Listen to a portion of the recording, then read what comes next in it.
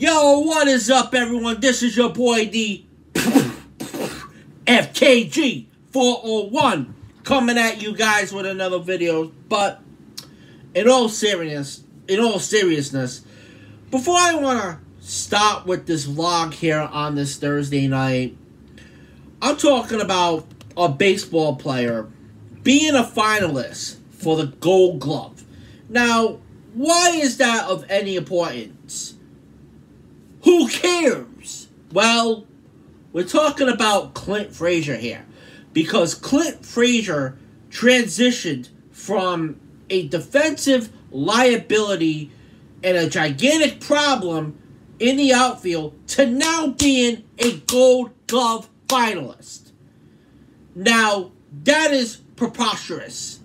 And it's one of the greatest plot twists that I've ever witnessed. And here's what we're used to look like out there. A year ago, Clint Frazier simply could not play the outfield. Now, in a July game against the Red Sox, he was booed off the field and then avoided the media as he dealt with all of the critics. It was bad for him. And anytime a ball was hit out towards him, you just had to hold your breath and really hope for the best, but assume that the worst was going to happen. In 2018, the guy had a severe concussion and even had problems staring into the lights during night games. This dude was a mess, and it appeared like he was going to be a designated hitter elsewhere. And then all of a sudden, going into this year, his attitude changed along with his game. And despite being sent down almost immediately to start the year, Clint Frazier waited for his chance and he handed it like a pro. Now, since Giancarlo went down with an injury, he pounced on that opportunity and never looked back. Out in right field, Clint was nothing short of awesome. His routes to the ball, compared to last season, were like night and day. He trusted his first step and instinct on balls that he would normally hesitate on.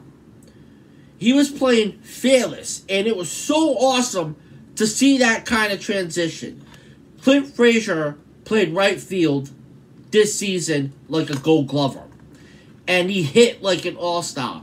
Now, for this guy to really start to get the recognition he deserves, and you know what? I'll even say it. He's going to be your starting left fielder on opening day for the New York Yankees. And speaking of gold glovers, and it's not just Clint Frazier.